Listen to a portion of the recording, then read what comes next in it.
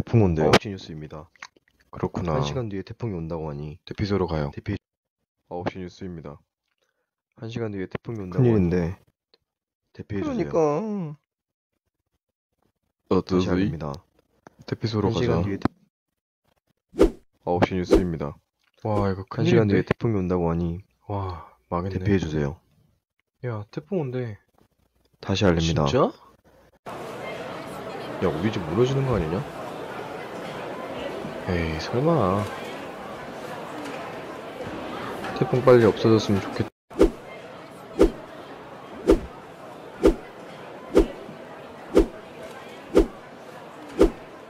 집 괜찮겠지? 걱정되네.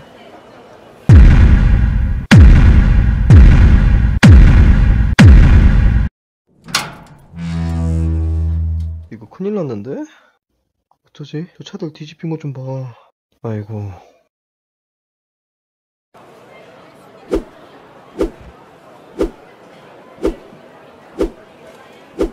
같이 자네들을 치우고 마을을 다시 재건합시다. 맞아요. 옳소. 이응쿠쿠. 당연히 다시 재건해야죠. 이론이 좀 부족하네요. 제가 인터넷에 도움을 요청해 볼게요.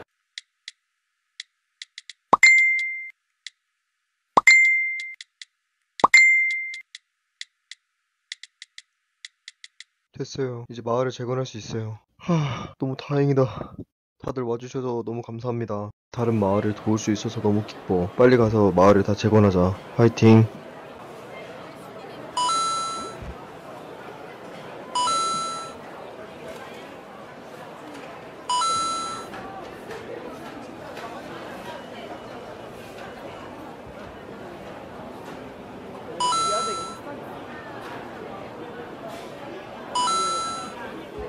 드디어 우리가 힘을 합쳐 마을을 구해냈습니다. 수고하셨어요. 먼 곳에서 오느라 고생 많으셨어요. 저희가 결국 이겨냈네요.